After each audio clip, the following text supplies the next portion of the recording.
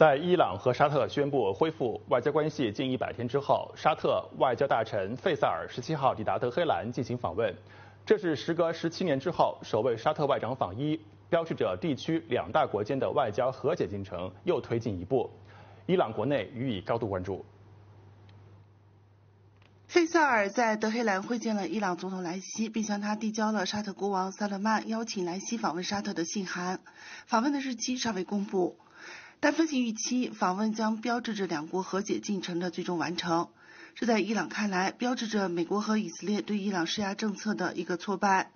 伊朗外长阿卜杜拉希扬将费萨尔的访问描述为积极的一步，称这将开启双边关系的新篇章。جمهوری اسلامی ایران روابط خودش رو گسترده و بازگشایی بکنه. ایران هم به طبعا نیاز داره به روابط خودش با عربستان. این دو کشور روابط نزدیکشون می‌تونه منطقه رو بسیار آرام بخش و آرام بکنه. با توجه به اینکه عربستان سعودی به اعتقاد من کلید روابط کشورهای ایران و کشورهای منطقه خلیج فارس هست. و لحاظ فرهنگی از لحاظ سیاسی و از لحاظ اقتصادی میتونن دیگه این دو کشور همدیگه رو بالانس بکنن و به اهداف مشترک خودشون برسونن و امنیت دستجمعی رو در خاورمیانه به ارمغان بیارن 地区随着伊朗和沙特的关系解冻，也发生了一系列的变化。沙特和叙利亚重新恢复接触，叙利亚也被恢复在阿拉伯联盟的成员资格。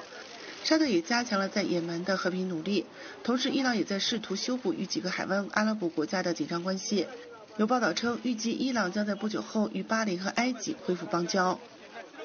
میشه تعاملات گسترده ای رو هم برای حفظ و توسعه و تقویت امنیت منطقه افزایش ثبات در منطقه پایداری تعاملات بین المللی اثرگذاری مشترک کشورهای منطقه در حوزه های جهانی و روابط مختلفی که در حوزه های فرهنگی اجتماعی سیاسی شاهدش هستیم توسعه پیدا کنه 但在双方外长会面时，沙特方面提出要改换新闻发布会的地方，因为那里挂着苏莱曼尼将军的画像。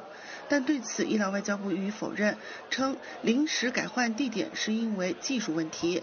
但这也表明，伊朗和沙特依然存在着一些无法逾越的政治分歧。从恢复邦交到成为亲密的朋友，还需要很长的路要走。凤凰卫视李玉正、卡木森，德黑兰报道。